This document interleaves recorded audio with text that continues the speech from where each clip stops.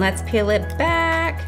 Oh, I love it. Look how cute that is. It's even better than I expected. Sometimes we amaze ourselves with the stencils and with how the colors work out. Oh, it's perfect. Hey, this is Kari at Studio R12 Stencils, and today we are making a quick and fun statement piece for your home that you can change out with the seasons. All right, let's get started. We have three surfaces today because we are making a super fun fall set. I have already base coated my surfaces white. If you would like some tips on base coating basics, we have a video that we will share up above for you. There are definitely some tips that you'll want to know, including how many layers to base coat depending on what style of project you're doing and how to keep your edges clean. So even if you need a refresher, that's a good video to watch. I did four coats on these to make them really nice and white and bold. So we have our white surfaces and then we are going to add fun fall cutouts to our projects and make a fun set out of them. So we have our cutouts and we are going to paint different plaids on our cutouts in different colors to make them a nice coordinating set. And then we are going to paint some words with our stencil on the bottom. So what is our next step? We have our boards base coated. We are going to set them aside. So our next step is going to be base coating our cutouts. When we base coat a large surface, we use a polyfoam brush. We have the, our original polyfoam and then we also have some new sets of foam brushes that we are really loving. We love the really big set for large projects. However, when you are base coating a cutout, we have found it is most beneficial to paint those with our jumbo dauber. So these are like a really dense sponge and they have a little spot for your fingers in the back. And these are easiest because when you use a brush or a large sponge on them, you run the risk of bleeding over the edge. When you are painting on a square or a really basic cut surface, you can clean up the edges pretty easily. However, when you get into something like this leaf, if you make a mess on the edges here where it is such a fine cut, you are gonna have a hard time cleaning it up. So we are preparing for this the easiest way possible. So the colors that we're using today, we used 27, which is our white on our base coat. We have a Studio R12 paint color guide. And so we paint with Sherwin-Williams paint. We paint in bulk. So we get, let me grab a large container. We get large containers of paint because we paint so much here. So what we've done is we made almost 80 colors the Sherwin-Williams paint, and they correspond with Deco Art Color. So what our paint color guide does is it shows you if I have a number nine, it tells you what color number nine is with Deco Art. And then it also will give you the hex code if you wanna try to find it online. So it's a really valuable tool if you like the colors that we're using and you want to paint something similar. Okay, so we are going to start with our dark orange. Our number nine is going to be the base for our pumpkin and our leaf. We're gonna shake up our paint really good.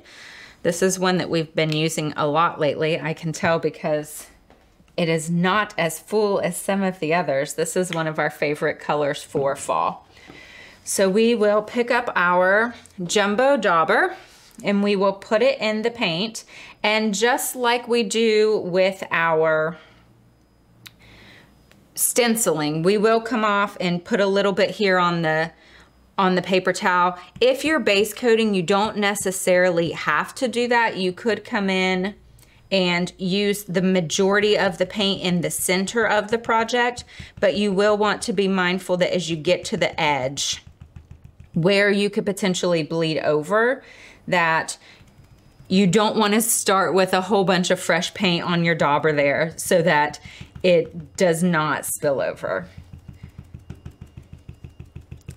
And this is just such a really easy, quick process. We love the jumbo daubers for this purpose. We also love them for stenciling really large areas. So if you have a project with a large pumpkin cutout or a large deer cutout and want to cover a lot of area fast, it's really easy to use the jumbo daubers for it.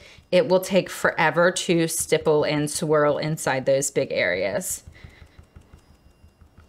Okay, look how easy and quick that is. Super duper fun, super duper fast. Now, if you are wanting to do a really bright and bold surface, you will want to paint a light gray first and then paint your color over top of it. I recently did a video where we used orange as our background on a Halloween round. So I will share the link to that video so you can see why and when we would use those. It's really gonna be depending on what color you would want your surface. Oranges, yellows, reds don't seem to have as much pigment in them, so they don't necessarily have that pop that you might be looking for unless you paint an undercoat. And we always prefer gray over white. White will turn your red pink. All right, so those are quick and easy. This is actually a super quick project in general, even though there's a lot of steps to it. It does not take a long time to do. The drying and waiting for the drying of your base coat, I think is the, the longest, most tedious part. Now, something I just noticed, I was huh, holding on to this and because it is thin, my finger was getting into the paint. So you will want to be careful of that. We could grab a towel. Since these are small, they like to move around a little bit. So a, just a, a towel that we got from the Dollar Tree will be good to help keep it from moving around on your surface and to kind of help stabilize it. So look how nice and pretty that and bold that is. This is the difference between, let me move these in here to this camera, one coat of paint and two coats of paint. So it can definitely make a difference when you're looking at how many coats of paint you want to paint. I'm gonna come off here onto the paper towel just because this is a smaller surface and there's a lot more edges to potentially bleed under. Okay, I think we are done with the base coating of those. So when you are done with your jumbo dauber, you are going to grab one of your paint brushes that you're not using and stick the brush into the little hole where you put your fingers and then sink it in your water bucket. If you do not put a brush in it, it will float to the top and it will flip up. So the sponge part is actually out of the water. And when you do that, that's when you ruin your daubers because they get dry. This one was not taken care of very well and is kind of crunchy. And you can tell that it was used to paint blue. So this one I don't think was placed in the water properly and you can tell. And if you take care of your sponges and your brushes, they will last you a really long time. However, if you do not take care of them, you are going to be buying them over and over again. Okay, so now time to do our little acorn. And with our acorn, we are going to base coat him white. And we have a, a fun different color pattern, color scheme we are going to use for him. So the pumpkin's going to be orange. And the Leaf is going to be orange, and this guy's going to be white and green. Okay, so we are done with the jumbo dauber here. We have two layers of paint white, and we are going to sink this into our water bucket. So anytime that you use a stippling or a tapping method on your projects, you will have a little bit of a texture on your surface. If you don't like that, you can always take a really fine grit sandpaper and sand through it just to smooth it out a little bit. I do not mind it with this project. We're going to have some patterns on top of it, so I'm just going to leave it as is. Our surfaces are dry and we are ready to start painting patterns. So our first pattern we are going to do is on our pumpkin. My stencil is a lot bigger than my surface. If that happens, there is a chance that it can kind of pop up when you get close to the edges. So what we like to do is go grab another surface that's about the same thickness and you could put it all the way around. I'm just going to do it on the one side today. And then we are going to get our tape. And what this does with this extra surface is it kind of gives it a level playing field. I'm gonna tape my stencil down and I am going to tape it just here on the edge.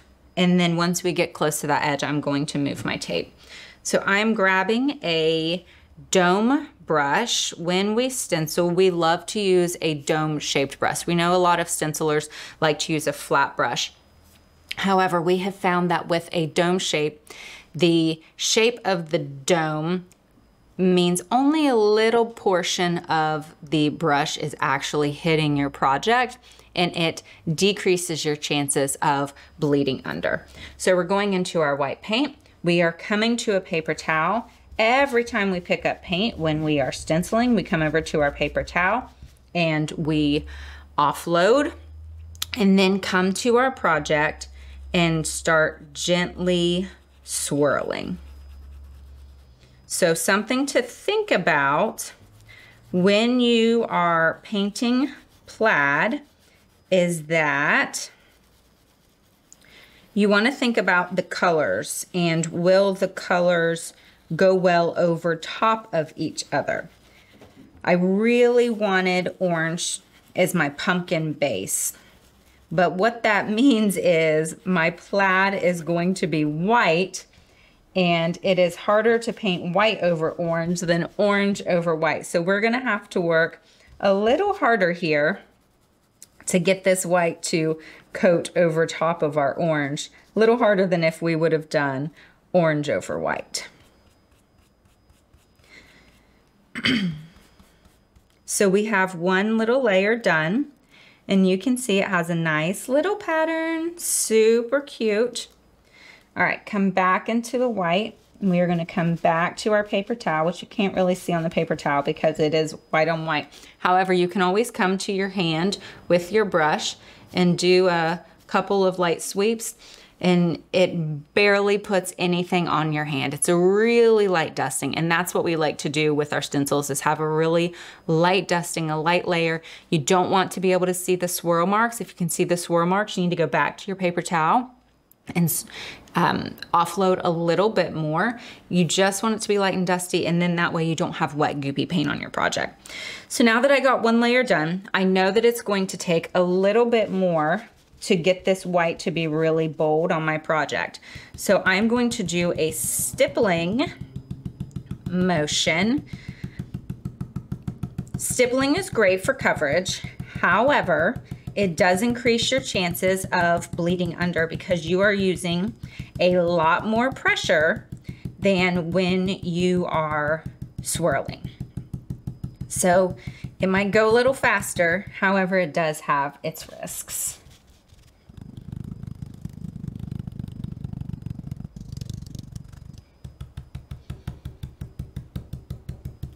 Oh, okay, so I taped down, but I apparently did not tape down good enough because my stencil just popped directly off of my project.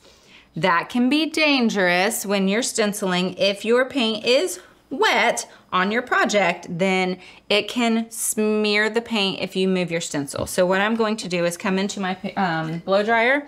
I'm going to make sure this is really nice and dry before I put my stencil back on. I am going to tape down a little bit better now. And I can also hold down on my stencil to prevent any movement. However, when that came off, did you see how pretty that plaid was?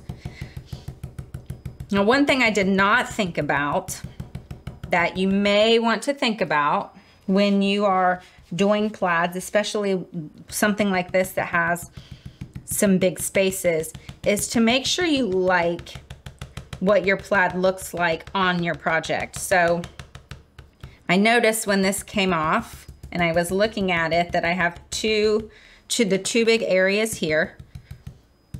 And they kind of look like they're in the placement of an eyeball for maybe a jack-o'-lantern. So keep in mind, you know, hindsight's always 2020. If you don't like it once you get done, paint is our best eraser. You can always sand through your project and sand back on the plaid and then base coat it again and base coat it in your orange and then move your plaid around until you like her. Maybe you decide that you don't like this plaid or maybe you decide you want to do the same plaid on all three. And then if that's the case, you can just paint it back and redo it. It is, it is maybe a little more time consuming. It is an extra step. However, we do want to love what we, what we are painting and how our project looks in the end. I am gonna need a little bit more white. So this is our 27 on our paint color guide. And notice I'm still coming to my paper towel every time that I add more paint. However, you can also notice, look how high up in the bristles the paint is. That is because when you are doing that stippling motion, you are pushing paint up into the brush.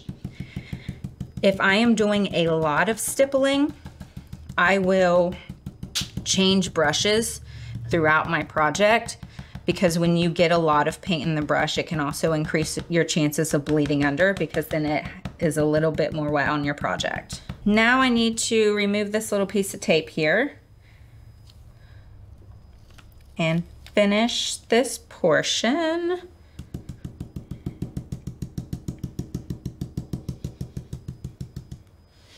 Something to keep in mind when you are painting, anytime that you are coming to a harsh line on your project, we hate harsh lines. We hate the tape lines because they are hard to cover. There's a nice tape line right here through the center of my plaid and it is going to take several layers of my of coverage for me to get that. So I need to hit the blow dryer because what I noticed is since I'm doing such a small area, I did a layer and did another layer and didn't let it dry between. So now what's happening is the paint is pooling away and we are digging a hole into our project. So let's dry our project, take a little breather, grab a drink of coffee, and then come back. When I was blow drying, Steve and I were talking about plaid being tedious.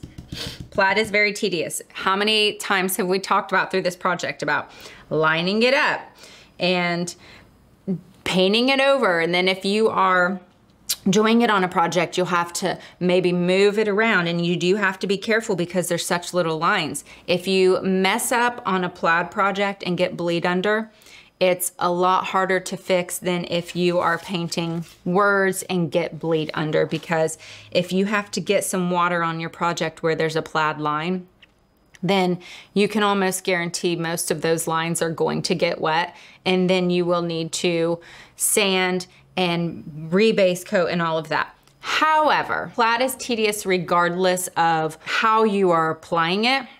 And the stencil makes the plaid a lot less tedious. Look at all the lines on this and all the cuts in different directions. If you would try to tape this off, I cannot even fathom how long it would take to get this. So plaid is tedious regardless of how you're painting it, but stencils make plaid so much easier. All right, let's pull this back and ta-da! Look how pretty that is. It kind of has a little boho vibe to it. I love the orange, I love the white pop. Love, the little eyeballs that we painted on here. Okay, so we are done with our pumpkin. I'm done with the white paint, so I'm putting my brush into the bucket. We have a video with brush cleaning tips, and you will definitely want to watch that because it will help save your brushes. So next we're going to move on to our leaf, and with our leaf, we are going to use a fun two-part stencil. I'm actually going to use it on both of these and show you the difference in a bold contrast versus a tone on tone. So we're doing tone on tone with our leaf. This is a gingham stencil and it has a part one and a part two. And so we will start with our part one. All of our stencils have a very light etching in the bottom right hand corner. It reminds you, you got it from studior12.com. And then it has the SKU for the stencil. And this one, since it is a two part, says part one and part two. I always like to put this SKU portion in the bottom right hand corner of my project so that if I have to move the stencil around, I know exactly the way my stencil was. Okay, so we are going to lay this down on our project and I'm going to show you, I'm not going to put the wood surface underneath it this time like I did on the last one. And I'm going to show you how we would manage that. So I'm going to get my tape and I'm going to tape onto my table which I'm already noticing when I tape onto my table, I have a little bit of lift in my stencil. You can see it kind of popping up and down and I want to show you what that can do to your project if you do that. So now I'm going into my light orange. This is number 40. So our oranges were number nine and number 40. And this is just like one step up. So it's just a little bit lighter. I didn't want to use a super bright palette on this project. If you guys have watched my videos, you know I, I love a, a boho vibe and a really neutral pattern. So once again, I'm coming to my paper towel. I have white on my paper towel from my last color that I did. I couldn't see it, so what I did was I wiped my brush off here and then I got into the white, which is going to cause my paint to get a little lighter. I'm gonna throw that paper towel away, get a new one. I'm going to wipe off as much paint as I can to kind of help neutralize the brush, get some of that white paint out if there's any on there, come back into my paint and start fresh. Okay, so we are ready to come to our project. I am going to go ahead and just start stippling because I know that my stencil is going to have a little bit of movement because I have it taped to my table and not to a surface that is the same height as my project. So I am going and I am holding every little square around the area that I am painting to try to prevent any movement that this might cause. Be mindful if this is the route you take which isn't necessarily the route we recommend, that you don't put your fingers on the portion of the project that has the openings. I have white paint on my finger and just stuck it into one of the holes and then there was a little bit of white paint on my project. And I had to stipple over top of it to hide it. So this project is definitely not taking very much time. If I wasn't talking, it wouldn't take much time. So one thing that's tough about doing tone on tone is we're painting orange on orange and it is kind of hard to tell where did I paint my orange? So I am kind of looking over to make sure everything's about the same color. We're going to pull this stencil off and look, it has a cute little plaid. Isn't that adorable? I love it. And I'm actually, I'm not gonna use this second piece because if I did use the second piece, I think it's gonna cover up the areas that I want. And since I want it to be tone on tone, I am just going to leave this as is, no big deal. So now we have a checkerboard leaf. We have our pumpkin. And now we're going to go into our acorn. So we are going to use the same pattern stencil that we used to do our leaf. However, I'm going to show you the inverse side, showing you the, it'll have more space in the background area than what this one did. So we'll start with that and then we'll decide if we want to add another pattern on top of it. And I went ahead and picked two different colors for this, just in case we would decide to add more onto it. I originally had a number 58 pulled, which I think would look really pretty with this, but I didn't have a corresponding color. So I went ahead and grabbed 42 is a dark green and 43 is a little bit lighter, and they look really pretty together. So let's look at what it looks like now with one layer of paint. And that is super cute. We're gonna do one more layer and make it nice and bold. All right, let's peel this baby back. Ta-da, look how cute. We could do all of these in different colors and use the same plaid. I like having the different plaids, especially since we're going to do another overlay of this to show the different, so that is going to make it tone on tone, which is similar to our leaf. So just some things to keep in mind when you are painting these is to decide, do you want them to be in the same color palette? Do you want one to be bold? Do you want one to be tone on tone? And the beauty of these is you can actually paint each each side different. So then you could do tone on tone on all of them. You could do the same color on all of them and then switch them around. And we're gonna show you how to do that. Stay tuned. So we are going to reuse our part one stencil. We love our stencils because they are washable, they are reusable. We have a video showing how to wash them properly and it's going to tell you why you want to wash them if you're using colors like oranges and reds before coming back onto a project. You'll also learn how to get glitter off your stencils. I'm going to do a little test here and we will see how it goes. I don't have enough space on my stencil. If I would have been thinking ahead, I could have probably put the leaf over here in the corner and then use this other corner for the acorn. However, I didn't do that. So what I am going to do is I'm going to line this up. So when you are lining this up, we go into the plaid. So the squares that we've already painted are going to be the portion that is covered with our mylar and the squares that we have not painted are going to be the ones that are open. So we're going to grab our tape and what we might run into a little boo-boo with is that we have orange paint on the white background.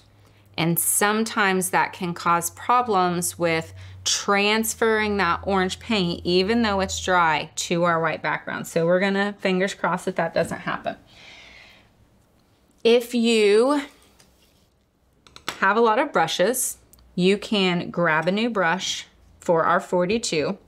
However, this is a good time that if you don't have a lot of brushes, think ahead to your colors. So you could do these two with the same brush. You'll probably want to do the lighter one first and then the dark. You can also just wipe off your brush a whole lot and neutralize it and do it a couple of times to try to get as much paint out as possible. If you are using these two colors or if you are using an orange and a green, you're not going to want to use the same brush. But if you are using paint in the same color family, then you can use the same brush. And one of the things that is important for stenciling when we talk about using brushes is that we want our brushes to be completely dry. If our brushes are not dry and you are going into paint, the water in the brush is going to thin your paint and then that increases your chances of bleeding under. All right, so we're coming into here. We are going to stipple so we have our 42, our darker color. I'm super excited to see how this turns out. Okay, let's do a quick peek to see how it looks. And ta-da, look how cute. I love that. You could leave it like that if you like the dusty layer, but I am going to show you what it's like to look a little more bold.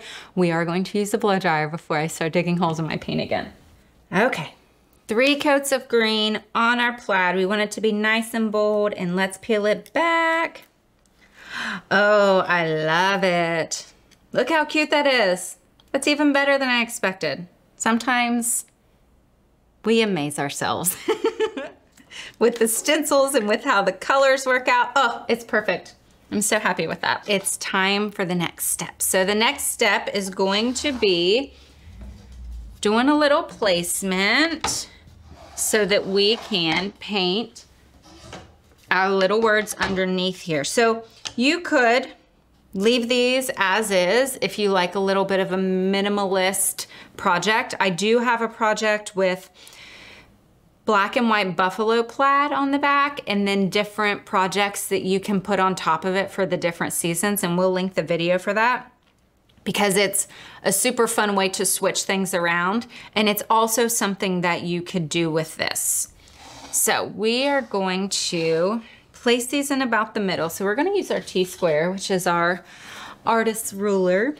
So you're gonna measure the space from the end of one letter to the end of the board. So this is just over three inches. And the space of the final letter to the end of the board, and it is three inches exactly. So we need to pull it over just a little bit. You are going to not necessarily be able to line up the middle portion of the letter with the word because the G has a lot is a lot hardier than the the rest of the word. So the G is kind of taking the place of two pieces here. And what I'm going to do for the bottom of the stencil, our stencils are laser cut, so I'm just going to line the bottom of it up with the bottom of this and that will help me be able to line them up across the board on the different projects. So I am using a Grateful, Thankful, Blessed and I am going to leave this stencil together. However, you could cut it and make it fit there and that might help with the lining up. However, if you do that, then you might have to figure out a little bit of spacing which they should line back up in the future if you want to use it. But if you want to use it on one in the future, it might be harder to put together than to leave as is. So we are taping on the left side here. I'm going to tape up here in the corner. I'm going to move this little guy here and I am going to paint Grateful, Thankful, Blessed on all of these. And I'm just going to use Stencil Basics. We're using black number 28 on our project. I'm probably gonna do two or three layers. So I want it to be nice and bold like my colors. If you want to watch some Stencil Basics, we have a video for that.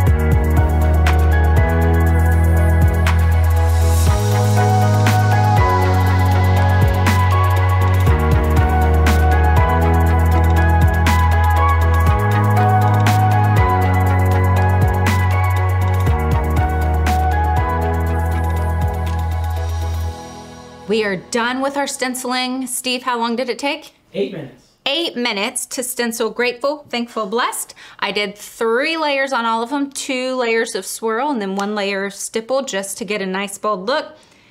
It did not take long at all. I was not rushing. I was taking my time. I wasn't trying to beat the clock, but I did want to show you how quickly this can happen if you're just doing a really basic stenciling. It does not take very long and there's absolutely no way on earth I could have painted or written these words as beautifully as what they are stenciled. So now it's time to start to put together our project. We have our grateful, we have our thankful, we have our blessed.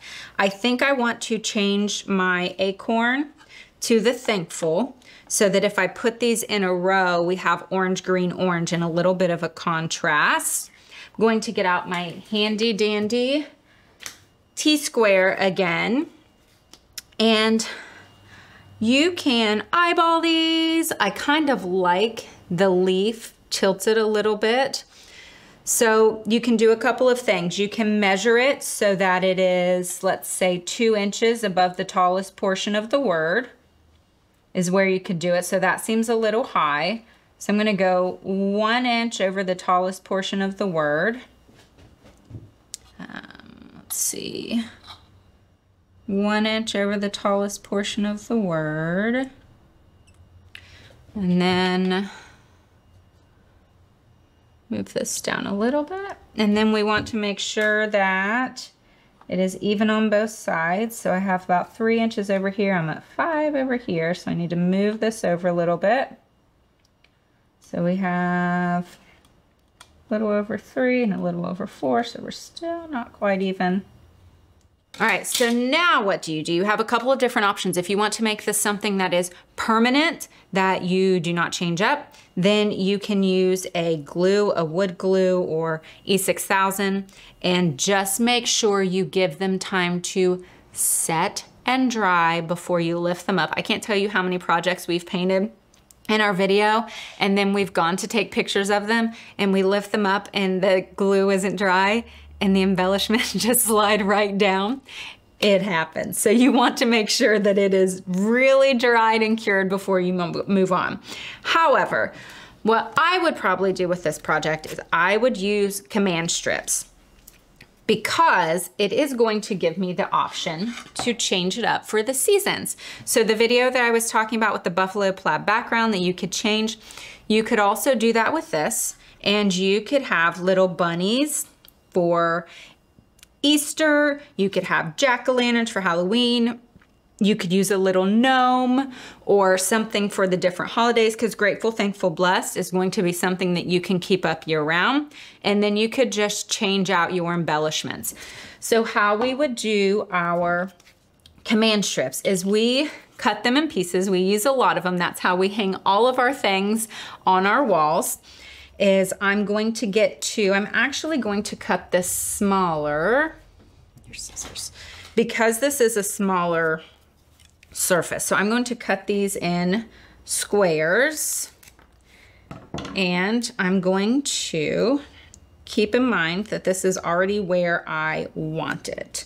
So I'm going to lift up, lift straight up, put it underneath. Okay, I'm not gonna lift straight up. I'm going to lift up. I know where I want it. I will re-measure again. I know that there's about two and a half inches on each side. And I'm just going to push down on that slightly so that it doesn't already really connect. I'm gonna set this on here lightly, make sure it's where I want it. It needs to go a little bit this way. And then we are going to crunch down. Nice, satisfying crunch. So then what this also does with using the command strip is it gives it depth. You have a little shadow now around your pumpkin. Isn't that cute? And then you can change it out with the seasons. So let's get these other ones added on here. Another way that you can add these, so when we are adding things to the wall, what we'll typically do is add the command strip to our project that we have painted. And then we will just, once again, lightly push it on there.